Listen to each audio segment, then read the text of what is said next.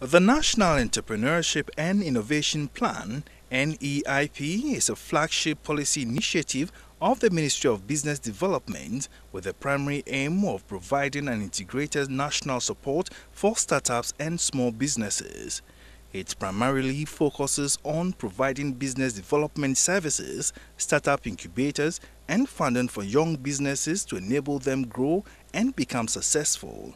Senior Minister Yaw Osafo Maafo noted that government wants to enable entrepreneurs, empower innovation, and accelerate job creation for Ghana's teeming unemployed youth.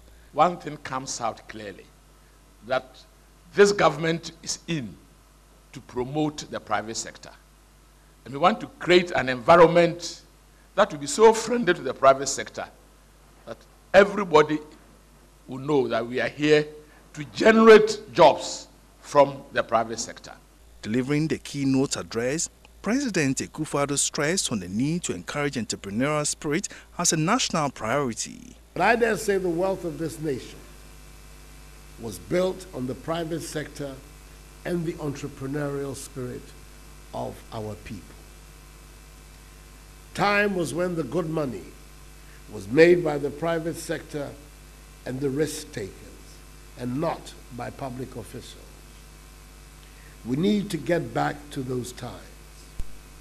Ghanaians are renowned for their sense of enterprise, creativity, and innovation.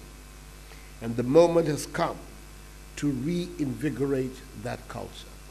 He added that his government is determined to change the economic situation of the country to benefit Ghanaians, especially the youth. I'm determined that we change the economic conditions in our country for the better to ensure the young people see it as a place of opportunities instead of the place from which they flee at the peril of their lives.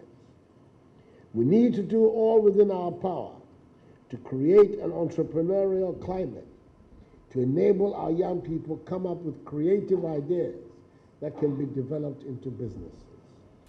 Adele Kwesi Machtube, reporting for Metro News.